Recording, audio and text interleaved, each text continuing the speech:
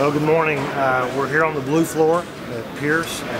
I'm Pat Ekus, Fire Chief of the City of Taylor, and I want to introduce you to our new Pierce 105 Velocity. Uh, this is the first custom apparatus that the City of Taylor has purchased.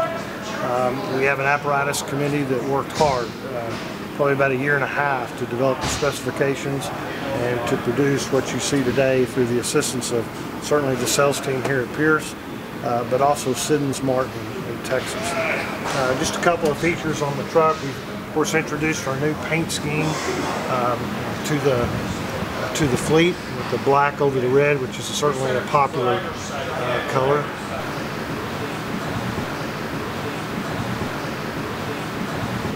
Well, the uh, the interior we believe offers a considerable amount of room, much more room than what we currently have.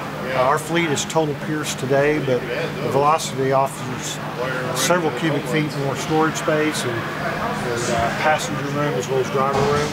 We did add the amber doors to, or the amber lights to each of the entry doors, which gives an added level of protection to our firefighters upon entering and exiting the vehicle. And then in the back of the vehicle, we've uh, incorporated an EMS cabinet. We're an EMS first responding department, and uh, we have the needs to store the uh, med bags and things like that, as well as our battery chargers, radio chargers, things like that, will be located in that area. And then we also did something we think is fairly unique in the, the LED light in the center of the cab, which illuminates the interior of the cab really beyond measure. We elected to go ahead and place uh, compartment doors on every compartment, including the crossway. Our department carries on Pre-Connect 1 150 foot of inch and 3 quarter, Pre-Connect 2 200 foot of 2 inch hose, and then Pre-Connect 3 is 250 foot of 2.5 inch hose. All that's pre-connected. We have uh, backboard storage, and then we'll have irons and flashlights located in this area. The uh, of course, offers us the opportunity to clean up the area where the apparatus operator is operating. We're excited about that. This is the first time we've utilized this design in our department. Certainly the front panel has a very clean design. Uh, we will mount the radio head here uh, this evening and that will give us the capability for the apparatus operator to change channel, monitor several channels, and use wireless headsets to do that.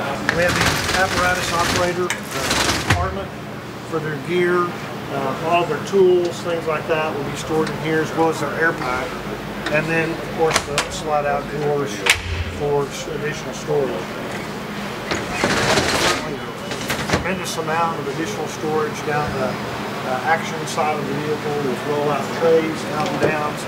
Our high-rise loads will be stored this compartment for easy and quick access. And we also have, of course, extinguisher storage uh, on this side as well as SCBA storage Our rescue tools, which are battery operated, will be mounted in this compartment with a slide out tray and then a down and out for the cribbing. Probably going to have another fixed compartment or a fixed shelf here. Certainly we're able to do that here today, describe to the plant what we need to, to uh, make the truck usable perfect for us. Uh, we moved the switches here on the back. Just uh, instead of doing it on the back wall, we elected to go here on the side wall for easy access for a driver or for a firefighter to turn these lights off if they do so inside. Uh, 105 foot aerial.